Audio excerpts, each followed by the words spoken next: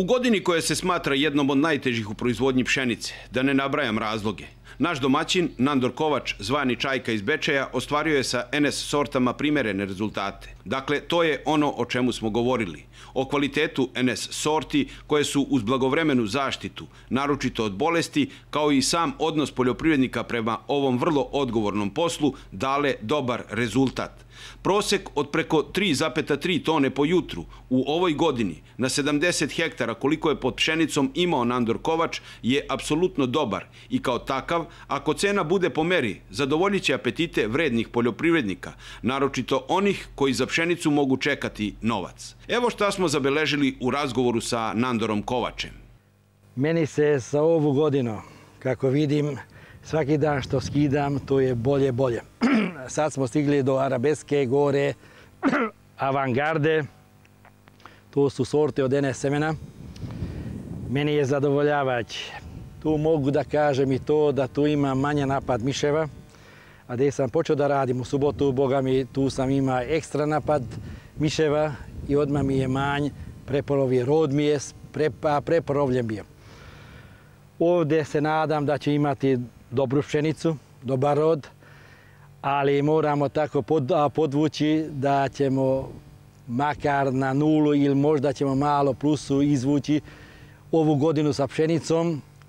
Pratimo ulaganje, nešto će malko, vrlo malko će nama nešto ostati, ali mnogo neće, jer gdje smo imali štete, imao sam tako 35 hektara takve pšenice, nisam još sve skinuo, ali to će biti podbačaj. Ovi gdje nisam imao napad miševa, to će mi popraviti i valjda će mi biti izbalansiran će biti rod. Momentalno smo nalazili u parceli gdje je avangarde. Meni je tu zadovoljavajući prinos, bolje da ne pričam, ali se vidi na pšenici, vidim ja na kombajnu kako curi, kako kipuje.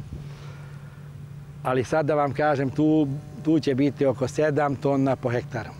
Svi se žale ove godine na pšenicu?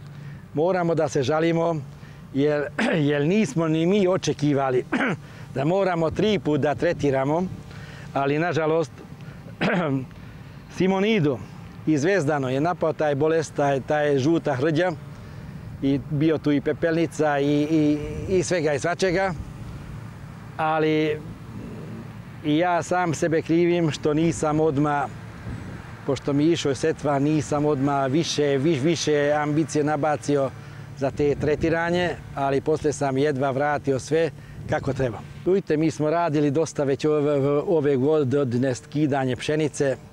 Boga ne valja da vam kažem. Loše je rod, malo je, pošto sam čuo i da ima i od, od, od 13 pa do 20 meteri, ali tu isto bio napad miševa i nije tretirana pšenica. Ko nije tretirao, jer nema šta da očekuje? Pa ove godine, ali moramo navići ko će da, da, da posije pšenicu. Današnje vremeno mora dva ili tri puta da tretira pšenicu, jer inače neće valjati. Nećemo imati. Ali ako gledamo matematički, tu nam je skupa setva, skupo ulaganje, jer te herbicidi nisu male pare, ali ako hoćemo reskirati, onda moramo, jer bez tretiranja nećemo imati više pšenicu. Moj komentar da smo malo zaspali sa tretiranjem pšenice protiv bolesti, kad je već pojavio žuta hlđa i pegavost lista i, i, i onda je bio za njega kasno. Kažem, to kad ću tretirati do godine protiv korova, odmah moram i samo da vam kažem još jedno, samo sa pravi lekom možemo tretirati pšenicu, dalje to prosaro, a dalje to amistar, amistar a dalje to duet ultra, akanto plus. Ne možemo makar sa levi stvarima, jer na tržište ima jako mnogo i divlje nabavljeno sredstva i kažu ovi trgovci sve može, a ne može jeste to manja cijena, ali dva put plaćam i nikad više to neću da radim. Samo ću da tretiram sa pravi stvarom, s pravo hemijom i na pravo vreme. Onda ne treba da se cvika, da se boji, da neće biti roda. Mora da bude roda. Kakve su ti ove NS sorte? Pa meni je zadovoljavajuće. Ja da volim da radim domaće sorte. Ima sam dobru ono diku, nažalost to, tu sam dobio napad od miševa, ekstra napad. Tu sam imao prepolovljen rod, što sam očekivao. Ali nisam mogao. Šest puta sam trovio mišove, ali nisam mogao da, da, da spasim pšenicu. A na ostale šta si još? Pa momentalno ovdje nema toliko napada od miševa i dobar mi je rod. Simonida, Zvezdana?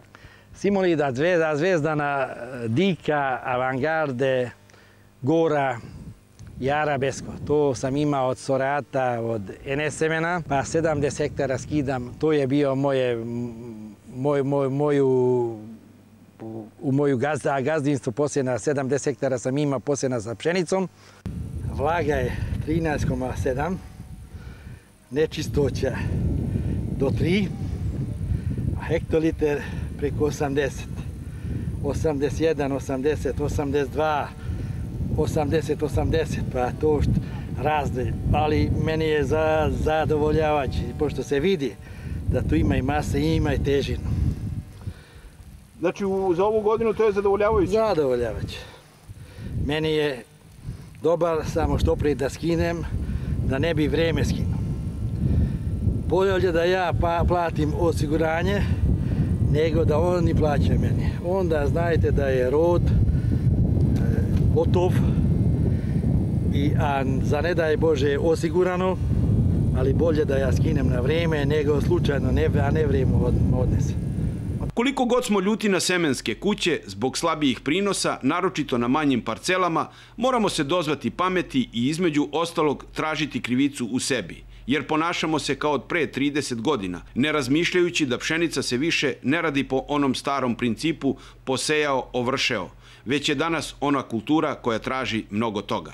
Da zaključim, Nandor Kovač, jedan vredni domaćin iz Bečeja, ostaje i naredne godine veran NS sortama, s obzirom da su rodile i danas kada se mnogi hvataju za glavu, jer para neće biti zbog slabijeg prinosa, ni da se pokriju osnovni troškovi. I na kraju, ako je tačna informacija da je akontna cena pšenice 16 dinara, onda se bojim da ćemo uskoro ovaj prilog reprizirati svake godine, jer jednostavno pšenice će biti istorijska kategorija.